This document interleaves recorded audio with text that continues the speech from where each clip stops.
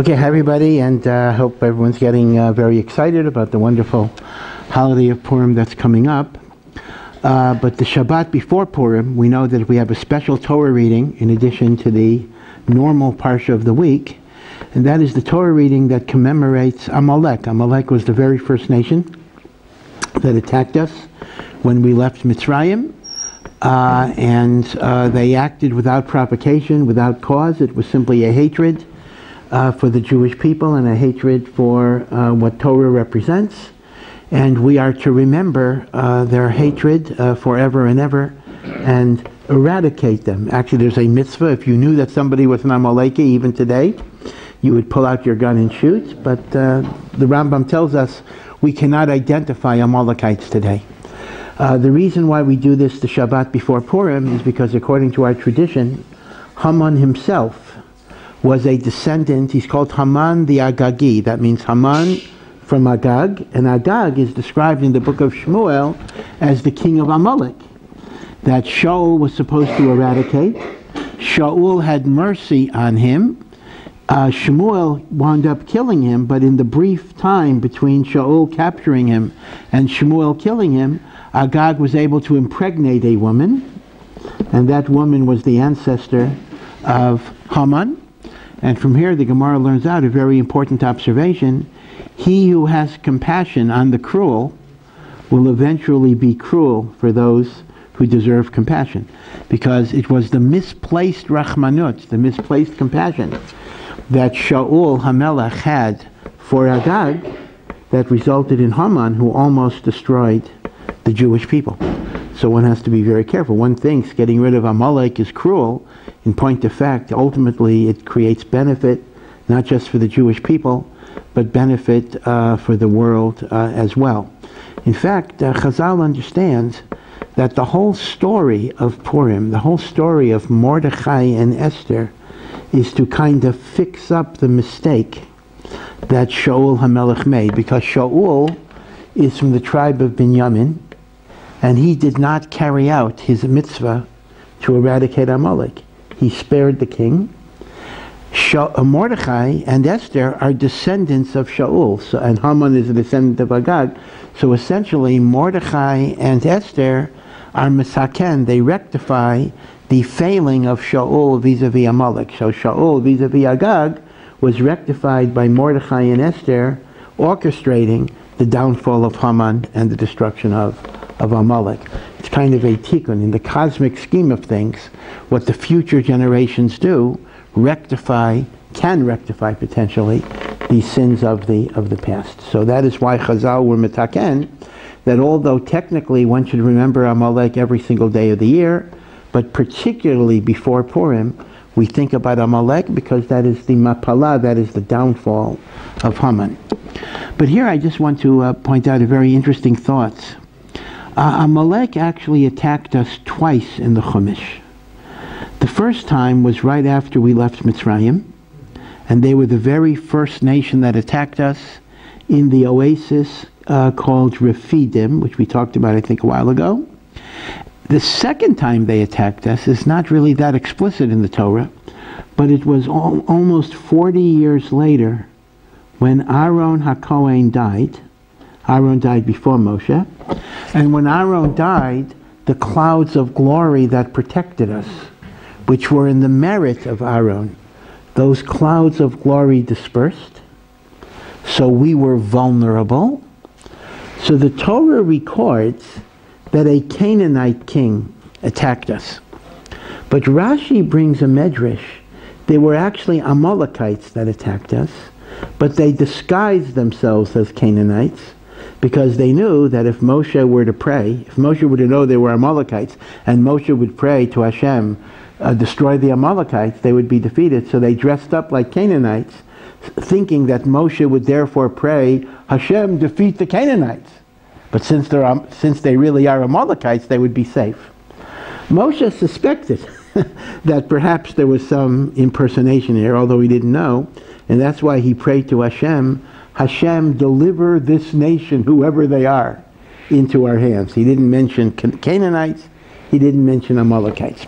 But according to rabbinic tradition, therefore, even though the Torah describes them as Canaanites, they in fact are Amalekites. That's very important. So that's the second time they attacked us in the desert. The Vilna Gaon points out that the reason that made us vulnerable differs between the two occasions. There is a fundamental idea, and for those who, who heard my share this morning, uh, forgive me for repeating a little bit of it. And that is, there is a notion that we are vulnerable to the Amalekites outside of us only when there is something within us that is a spiritual rot akin to Amalek. And therefore the concept of eradicating Amalek is not only referring to the Amalek out there, but it also refers to the Amalek in here. Because the Amalek in here makes us vulnerable to the Amalek out there. And therefore, when the Torah says, thou shalt eradicate Amalek, it does have an external referent, to be sure, but it also has an internal referent. The example that I, that I gave this morning was uh, those, um, those horror movies where uh, your, your, your nightmares uh, manifest themselves in monsters that are outside of you, that your dreams turn into the realities. In a sense, that's actually what happens. We create Amalek by the imperfections within our character. So what specifically would be the root of Amalek? So, excuse me. Uh, pass me tissue. Yeah, uh, pass me tissue, please. Yeah, thank you.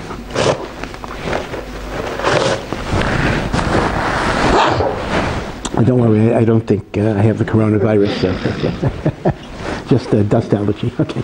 Uh, anyway, uh, so the thing is that let's look at the first time Amalek attacked us, then let's look at the second time, because you'll see a difference. The first time, Amalek attacked us in the oasis that is called Rephidim. That's the name of a place. But Chazal also say that Rephidim is an acronym, it's a contraction of two words. Rafu Yadayim Minatorah. Their hands held the, onto the Torah very loosely. That's an idiomatic expression that refers to complacency, lack of interest.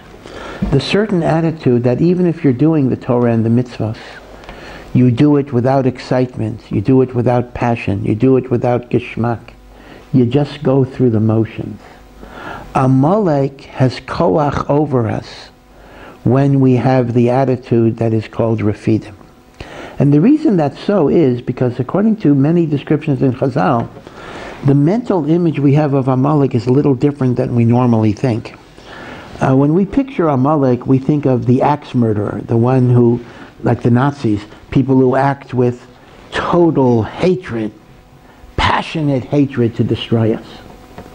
In fact, it's been pointed out very, very often that uh, Nazism was essentially, in a perverse way, was essentially a religious doctrine that had all sorts of rituals that made no rational sense. I mean, for the German war effort to, to devote German resources to killing helpless Jews in concentration camps was an absolutely absurd, irrational decision.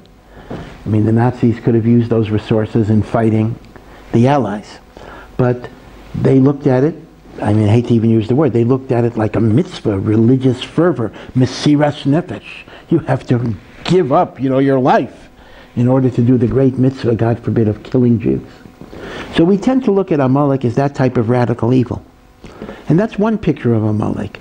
Radical evil for no reason, just evil. But interestingly enough, there's another view of Amalek that emerges from some midrashim that Amalek is not the axe murderer who believes in his cause, but Amalek is the cynic who doesn't believe in anything. Think about the lawyer that is the hired hand. He'll represent anybody who pays the bill. Think of the academic who talks about moral relativism. You have your view, I have my view. Right? In some college campuses, you'll hear some discussion about, well, How do you know the Holocaust was wrong? From the German perspective, you know, they had legitimate reasons. In other words, Amalek could be seen not as the personification of violent, unbridled evil, but the cynical idea that nothing matters. There is no absolute truth. There is no absolute values. That everything is a matter of tam bereach, so to speak. Everything is a matter of tam bereach, ein litvakeach, right? You don't fight over uh, subjective things. Now that is what the attitude of Rafidim represents. Rafidim means I go through the motions, but I live a life without passion, without feeling, without commitment. This is a fairly serious problem, by the way, uh, within the religious world.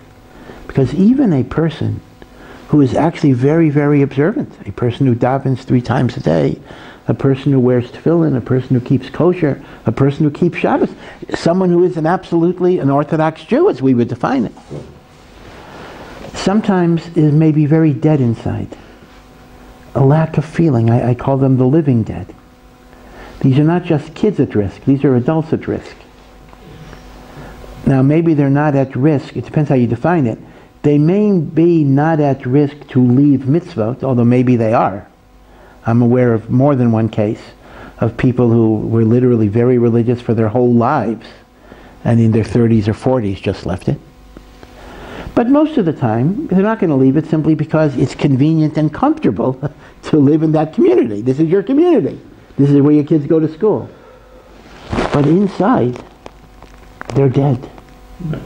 There is no passion. There is no geschmack. Nothing is nourishing their souls. It's like a tree that still has its leaves and still has its fruits. Because even after the tree dies, it'll take a while till that stuff spoils. So the leaves and the fruits still look good. But inside is a deadness. So this is a serious issue. The issue of rafidim in which you just go through the motions. And that is so serious that that is said to be the root of Amalek. So the first time Amalek attacked us is because of the attitude of refidim that was within our heart. When we have that complacency, lack of passion.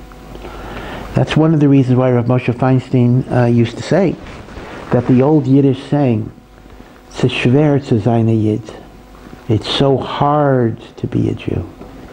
He felt that destroyed a whole generation of Jews growing up in the 20s, 30s. Most of the children of Orthodox immigrants totally left Yiddishkeit. They intermarried, they certainly did not keep mitzvahs. And obviously, you know, it's oversimplistic to say there's a single reason. In fact, if there's any any reason in particular, it's the was the absence of yeshivos and day schools was probably the main reason. But Rav Moshe Feinstein said that the attitude that when parents would come home after a 12-hour day in the sweatshop, and if they were Shomer Shabbos and they didn't go to work on Saturday, they would have to find a new job on Monday. And it was hard to be a Jew. You can't, you can't take that away from it. It was very hard to be a Jew. But to communicate that attitude to our children, how hard it is. So the children come to a land of freedom. They come to the United States where they could be anything they want to be. They don't have to be a religious Jew if they don't want to be. And they can go to universities and they can become lawyers and doctors and accountants. It was literally an intoxication of freedom, being drunk with freedom. But what drove them away from Yiddishkeit? Because they saw Yiddishkeit as oppressive. They didn't see it as joyous. They didn't see it as uplifting. They didn't see it as transformative in a positive way. Rafidim, that lack of passion, drives people away. In fact, even the phenomenon of kids at risk, which is a major, major issue, both in the United States, in Israel, and I imagine every other country where there are Jewish uh, kids, in which so many, I don't want to say so many, but, but I mean, Baruch Hashem, it, it, it is a minority, but, but it's a large number. Uh, so many teenagers who come from Orthodox homes kind of leave it they leave it. Sometimes they eventually come back. Those are the happy endings. Sometimes they don't come back. And once again, it's a complicated phenomenon, and God forbid, I, I don't want to blame parents uh, for it. Sometimes you can have the absolutely best, best parents, and things happen. After all, God gave us free will, and people make choices, and the choices are sometimes not good ones.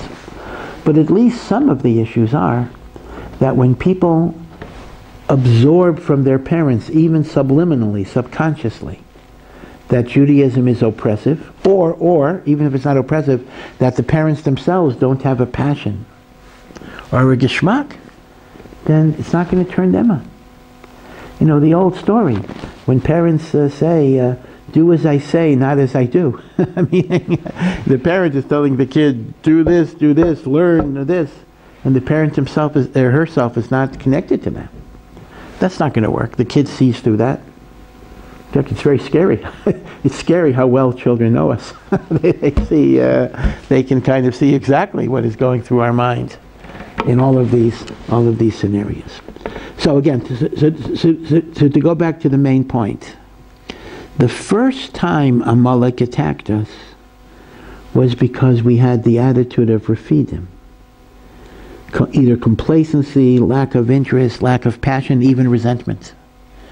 And that's an Amalek within us that takes us away from Hashem, and that makes us vulnerable to the Amalek outside.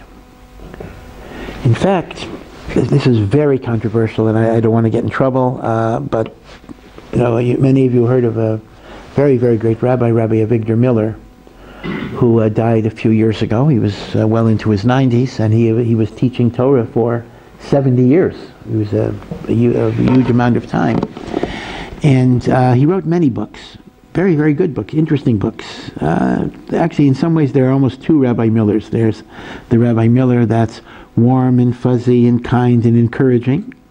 But Rabbi Miller also had a certain fire and brimstone style at certain points. So it's almost as if you're dealing with uh, uh, two people, because he could sometimes be very, very tough.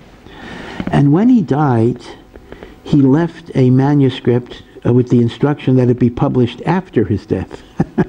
and that is uh, his attempt to explain the Holocaust.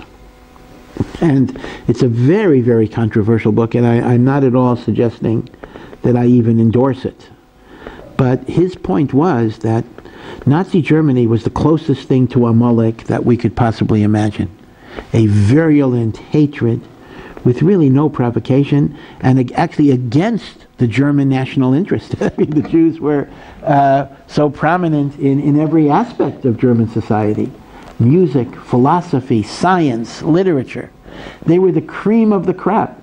It certainly did not benefit Germany to destroy Jews.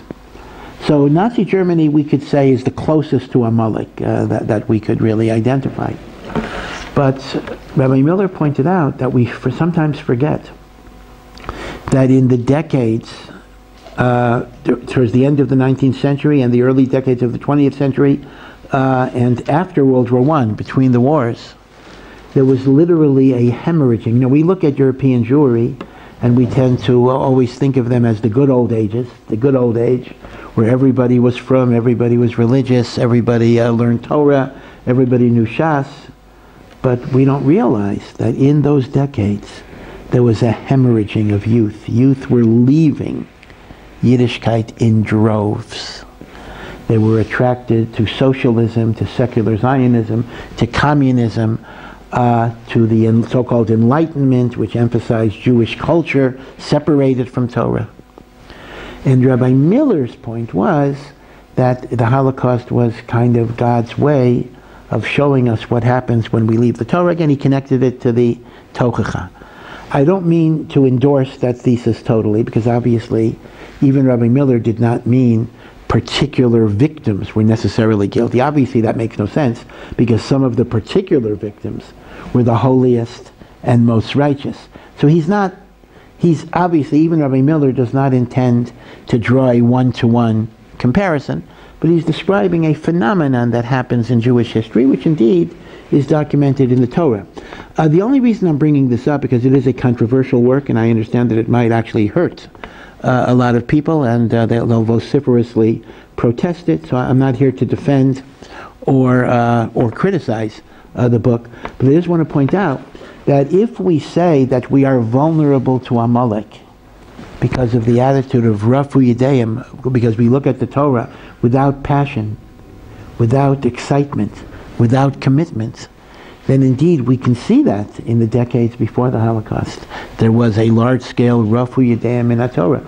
Many, I just finished a, a series at Rabbi Weinshul about the Piaseczner Rebbe, who was the last Hasidic Rebbe of the Warsaw Ghetto.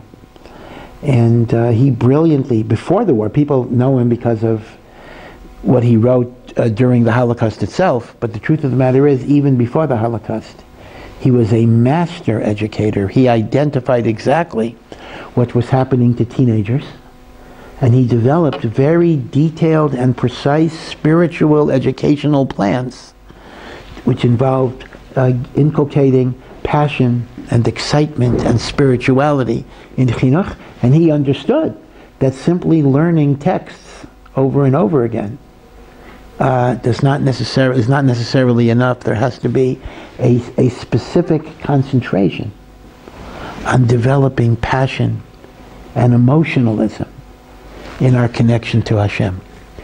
So uh, he understood the problem, and this was the problem, and this is this is the issue of Rafu Yedeyim in Torah. So that's Achilles' heel number one, if I could switch the metaphor.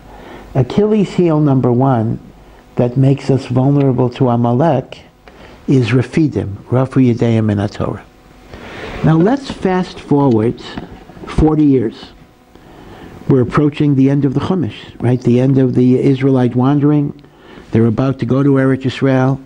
And in that last year, first Miriam dies, and then Moshe, then Aaron dies, then finally, at the very end of the Torah, Moshe dies. Today, by the way, it was the uh, today was the seventh of Adar. Today was the birthday and the death day, the yahrzeit of Moshe Rabbeinu. Uh, died the Zayin of Adar. Now, Chazal tell us that there were three miracles in the desert that came in the merit of these three towering figures. The man came to us in the merit of Moshe Rabbeinu. The clouds of glory came to us in the merit of Aaron. And the traveling well of water that gave us water came in the merit of Miriam. So the Anani HaKavod, the clouds of glory, come in the merit of Aaron. When Aaron died, the Anane HaKavod left because he was the reason they were there. We now become vulnerable to enemies. Amalek attacks us. Now, what's the connection between Aaron and Anane HaKavod? So we know the following. Aaron represents a very beautiful and unique midah. Pirkei Avos tells us we shall always try to be like the Talmidim, like the disciples of Aaron, to be a lover of peace, Ohev Shalom, a lover of peace, a pursuer of peace. Ohev Esabrios, one who loves all of God's creatures. That certainly includes non-Jews, may even include animals. Ohev Esabrios, it doesn't say Ohev Esayehudim. Loves all of God's creatures. Umakarvan La Torah, and through the love that he has for others, he brings them to Torah. Do you see? I'm, I'm, I'm, I'm kind of retranslating this. It, it's not two things. It's not that he loves people and he brings them to Torah. It's actually a cause and effect. Through the love that he has for them, they see the Torah as good and noble, and they want to become part of it. That is how you educate. That is how you influence. That is how you bring people, including your own children, to Torah by the love that you show them. Now, why does that correlate to the clouds of glory? Because the clouds of glory also represent the intimacy and love that God is showing us. He is hugging us with His presence. So, Mida Keneged Mida. Aaron represents love of his fellow man. Therefore, in the merit of Aaron, we get that love shown to us by God. So, based on this, we could perhaps say the following. If Achilles heel number one that makes us vulnerable to Amalek is the complacency and lack of passion in Avodat Hashem, Achilles heel number two is the sinas chinam, the hatred, or the lack of love we have for each other. So when it says Aaron dies, it could refer metaphorically, not just to Aaron dying, but the midah which he represented got diminished. We were vulnerable to Amalek because of the sinat chinam and polarization that existed within us. These are the two sibot, these are the two separate reasons of Amalek within us that makes us vulnerable to the Amalek outside of us, and they correspond to the two times Amalek attacked us in the desert. One is a complacency in the service of God, in which even if you go through the motions, you do so without passion and without excitement. And the second is the hatred. And by hatred, by the way, I don't mean, it doesn't have to be hot hatred. It doesn't have to mean uh, I throw stones at somebody. Hatred can also be indifference, lack of interest in the other person, the creation of cliques. We have our group, whoever our group is, and then there's the other. All of that is hatred. So hatred does not necessarily mean uh, what you might call hot hatred. But indifference is also a form of hatred. In fact, Elie Wiesel uh, often, often remarked that the opposite of love is not hate. The opposite of love is indifference. Hate and love can actually coexist. Often if you love somebody, you feel very, very strongly about them. So if they do something that hurts you, you know, you, have, you may have feelings of hate. But when you're indifferent, they don't affect you one way or the other. So sinat chinam is lav dafka, hatred. It can refer to a coldness and an indifference. There's my people and there's everybody else. So these are the two Achilles heels in the Torah that makes us vulnerable to Amalek. And when we have to eradicate Amalek, we have to work on these two ideas. Now, here is the interesting point. Let's uh, flash forward again to the Purim story. Now, again, just to give you a little little history to be sure you understand the chronology, uh, the Purim story, of course, is not in the Chumash, it's not in the Torah, but it is in the Bible, it's in the Tanakh. Uh, when did the story of Purim take place? Now, I'm not going to give you a year by year breakdown. That's actually a little complicated. But basically, the uh, Nebuchadnezzar, the Babylonian king, destroyed the Beis Hamikdash and sent the Jewish people into exile. Babylon was eventually conquered by the Persian Empire. And the story of Purim occurs towards the end of the 70 years of exile before the Jews returned to the land of Israel and were able to build the second temple. So at the time of the story of Purim, uh, we are still in the 70 years of exile that was started by Nebuchadnezzar. In fact, the Persian king who actually finally authorized the building of the Beis Hamikdash was none other than a king that was the son of Esther and Achashverosh, and his name is Daryavish, Darius II. So the Beis Hamikdash is built. I'm not sure if Esther was alive. I have to check the chronology. But after Achashverosh died, their son Darius became king, and he was the one who actually completed the building of the second temple. So it's a little bit of an irony of history that the Persian king who built the second temple happened to be Jewish. Just like they say there's a Jewish pope uh, here and there, etc. Uh, well, of course, the first pope was was definitionally Jewish. The first pope, first bishop of Rome, was the apostle Peter. Peter was was certainly a Jew. So when people say, "Was there ever a Jewish pope?" we at least know there was one for sure. But some say over the years there were other Jewish popes who were keeping the mitzvot privately and secretly. You know, who knows? Now, Darius, we're not sure. Did Darius, a lot of questions. Did Darius know he was Jewish? Did he think he was Jewish? Uh, did Darius put on tefillin? Uh, did he keep mitzvahs? We don't really know, but he was halachically Jewish because Esther was Jewish. Okay.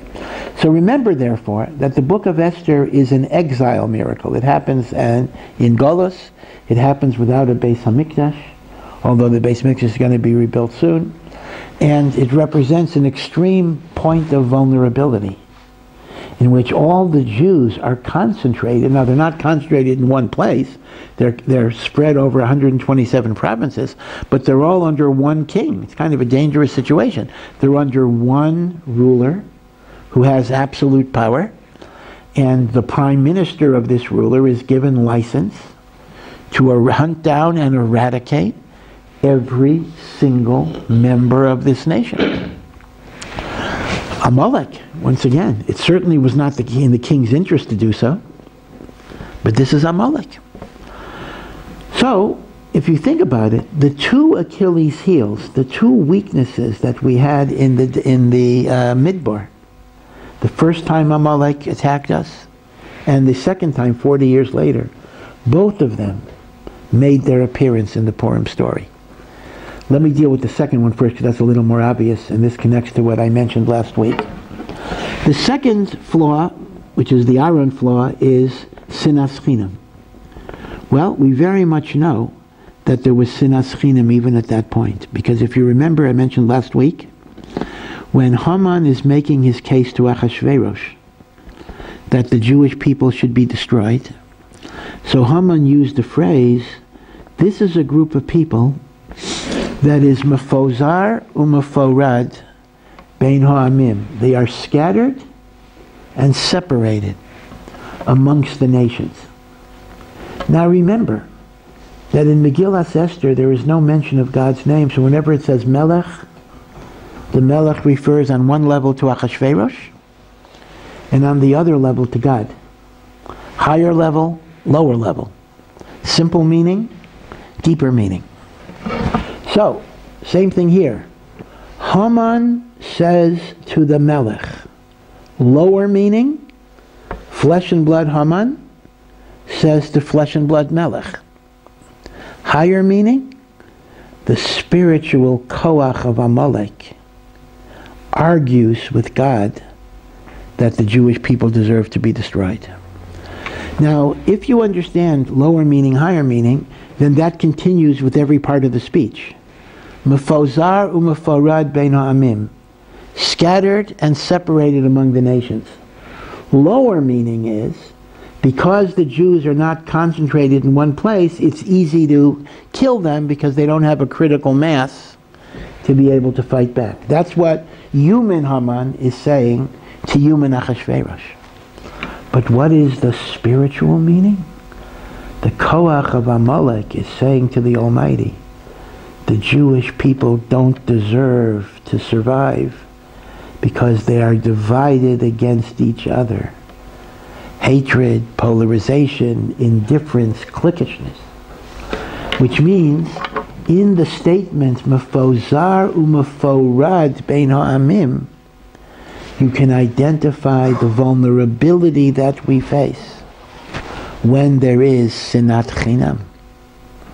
And that is why when Mordechai informs Esther, Hamalka, of this decree of Haman, Esther Hamalka's first words are, Lech kenos es kol Now she declared a fast. But how did she declare the fast? Go and gather all the Jews together. So it's not just the fasting, it's if we're weak because mefozar meforad bein amim, we get strength by coming together. So, in the Purim story, you can identify the same flaw that made us vulnerable after the death of Aaron. Now, where in the Purim story, though, this is going to be a little less obvious, do you identify a, genu- a general weakening in passion and commitment to the Torah, the first flaw, Rafu Yedayim in that Torah. So here, uh, it's a little less clear. But if, if you remember the beginning of Megillat Esther, it mentions Achashverosh made a huge party in which uh, he invited everybody to partake. And according to one view in Chazal, the Jewish people deserve to be destroyed because they got pleasure from this party. In other words, the Jewish people came to the party, they ate and they drank, and they got pleasure from it, and because of that, they deserve to be destroyed. Now, let's think about what that teaching means. They got pleasure, meaning they ate, they what? They ate non-kosher food? Okay. But eating non-kosher food is not a capital crime. God does not destroy you because you ate non-kosher food.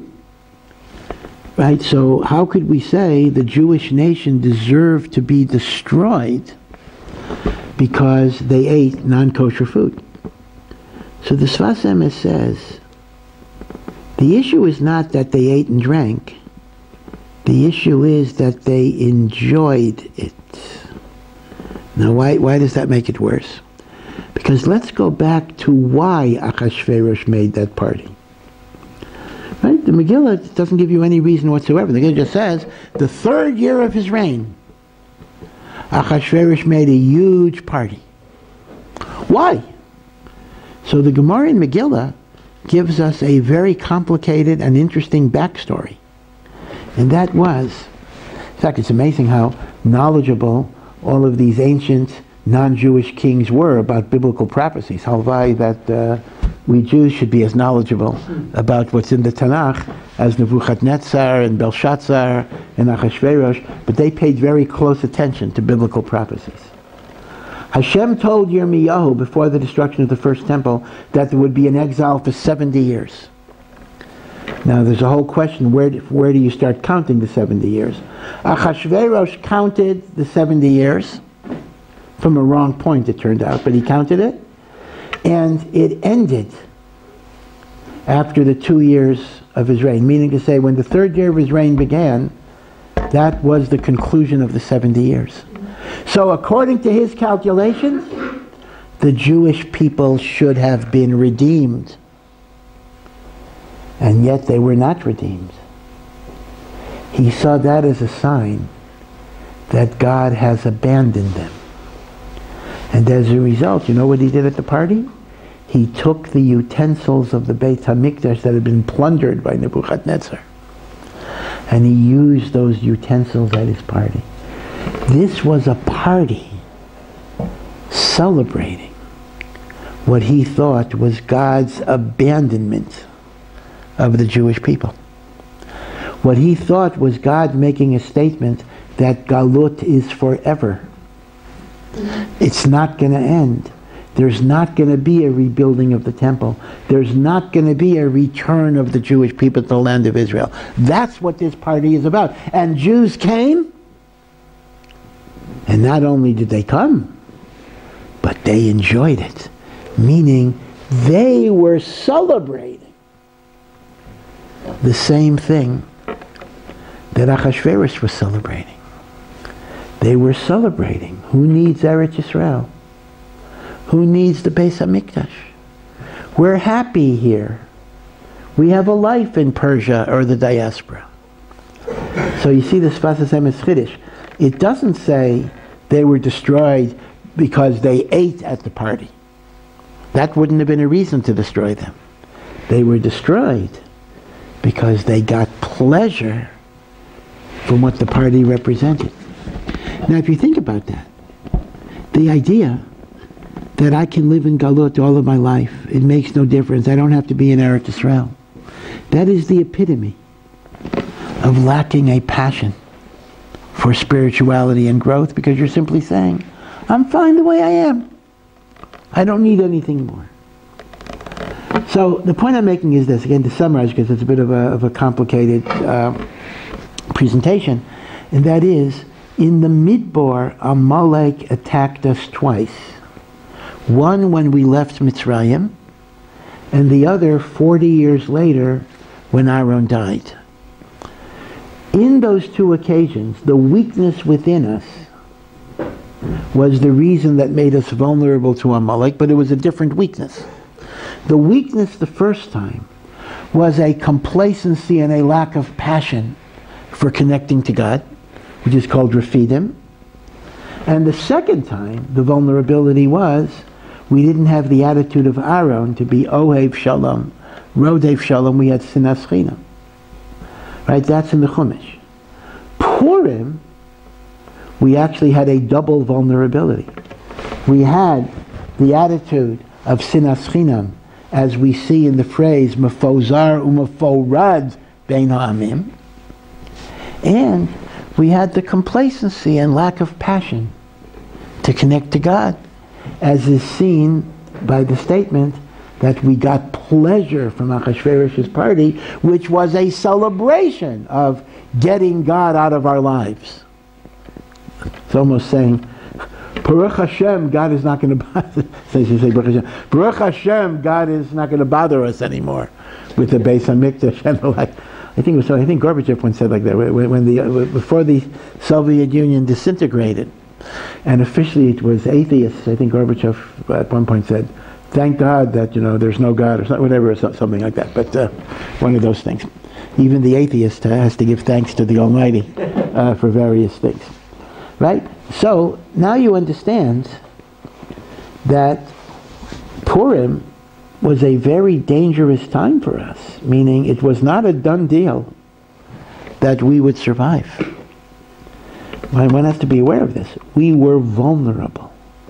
In Shamayim, there was a lot of discussion. Should I let these people live? Or should I just wipe them out? It was not a Pashut thing. And that is why when the Jews were redeemed by the chesed of Hashem, by the love of Hashem, we understood that if God saved us from Amalek, we have to rectify the flaws within our personality that makes us vulnerable to Amalek. So now let's see exactly how that happened. We know that in addition to reading the Megillah, uh, one of the unique mitzvahs of Purim and this is in the Megillah itself, is Mishloach Manot Ishlo We send gifts of food, and we give money or anything. You know, it could be food as well. We give gifts to the poor. By the way, the Rambam makes the point that uh, shalach manas. So you have to give at least two articles of food to one person. Okay, so if I gave, uh, no, some say it should be two different brachos. So if you gave one cookie and an apple to one person, you will have fulfilled your obligation of mishloach manos. That's all you have to do.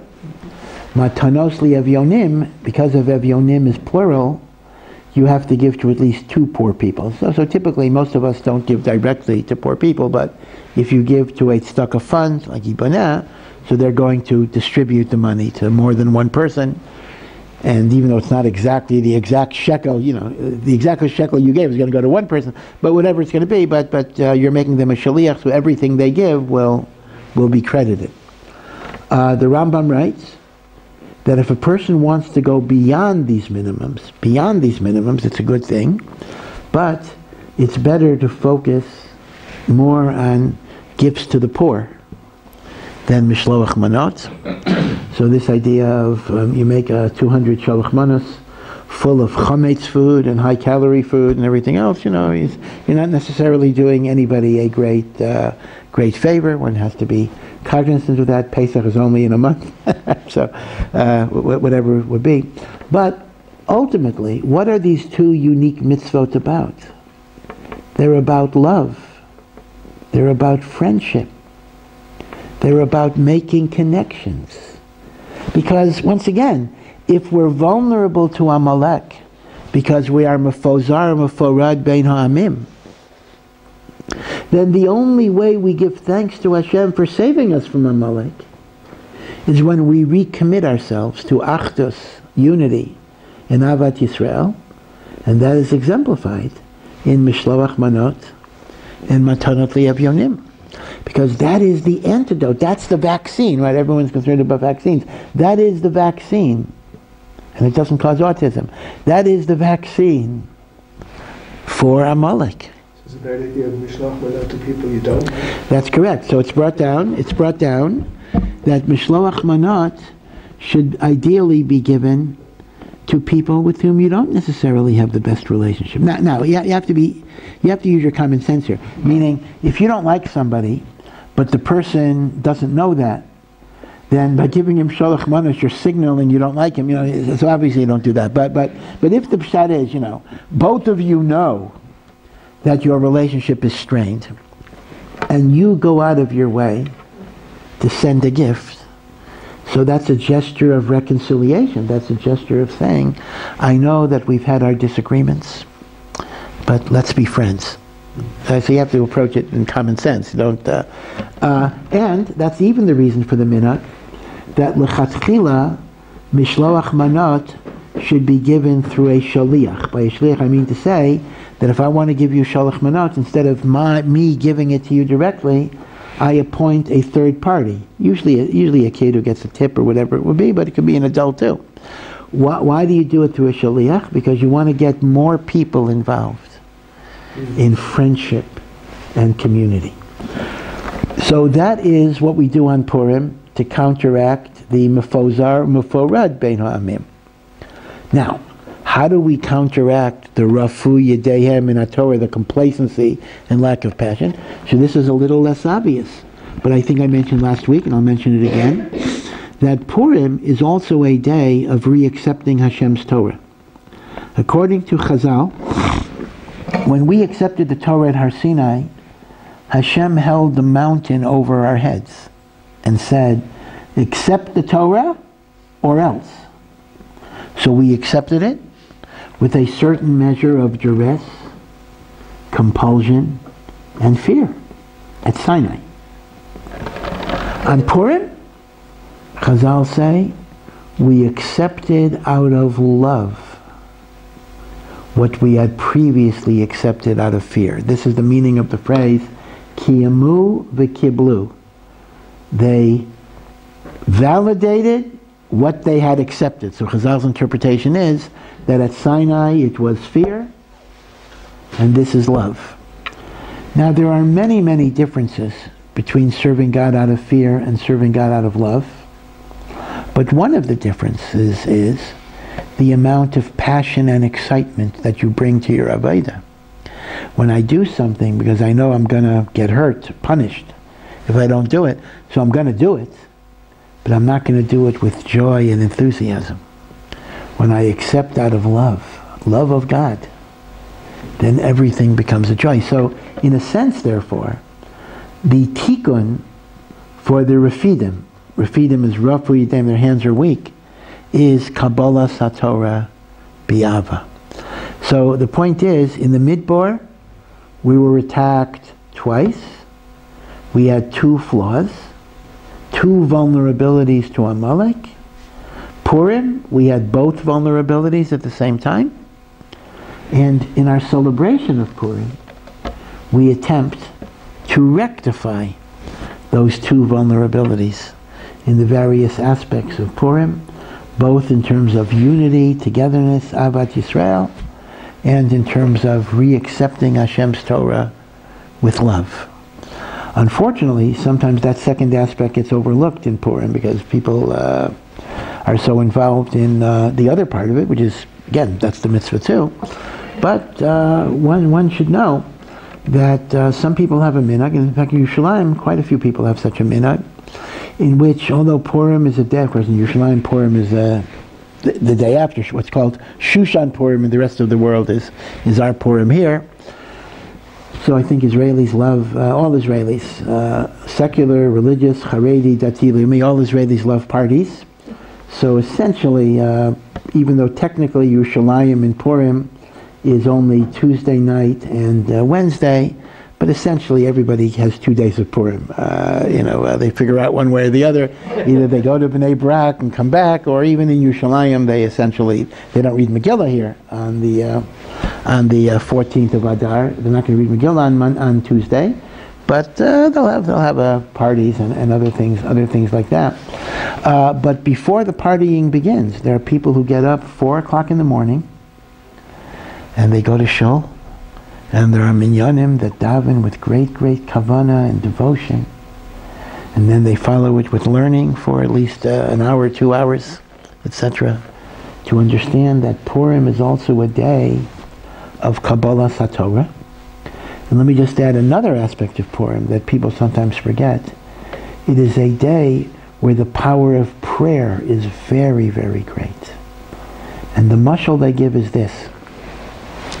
The whole year, when a poor person asks me for tzedakah, I'm allowed to uh, ask him for credentials, meaning, uh, how do I know? You know, maybe you're lying to me, meaning, do you have a letter from a rabbi? Do you have uh, some proof that you need the money, etc.?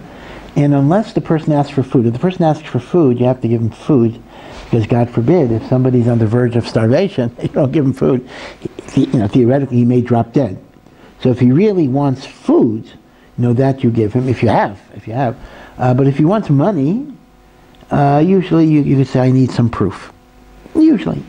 But on Purim, the rule is anybody that asks you, you have to give something.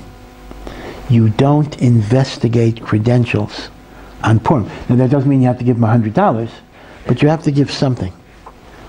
So, they say, Hashem on Purim is the same way.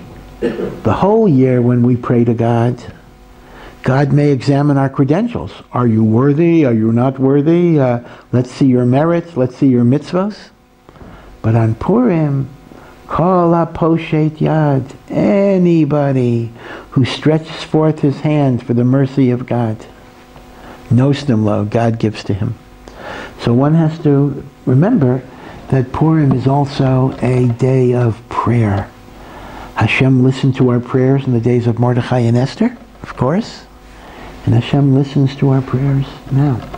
It's so amazing that some things don't change. Uh, Iran is Persia, right? So Purim, uh, almost 2,000 years ago, actually two, yeah, more, more than 2,000, a little more than 2,000 years ago, there was this great Persian empire, very powerful empire, that wanted to destroy us. And today, 5780, second of the year 2020, there's this great, powerful nuclear power,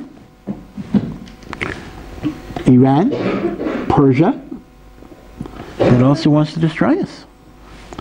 So what's the French saying? I, I can't pronounce it in French, but the, the more things change, the more they remain the same. A lot of things don't, don't change too much. And the Amaleks of the world, are still here in various forms and ideologies, even if they're not physically descended, descended from Amalek. And therefore, the same way that our vulnerability to the outside Amaleks depends on the weaknesses within us, we got to correct it. And the same way that Purim was a time of prayer where Hashem heard our prayers, and gave us a geula, that's equally true now as well.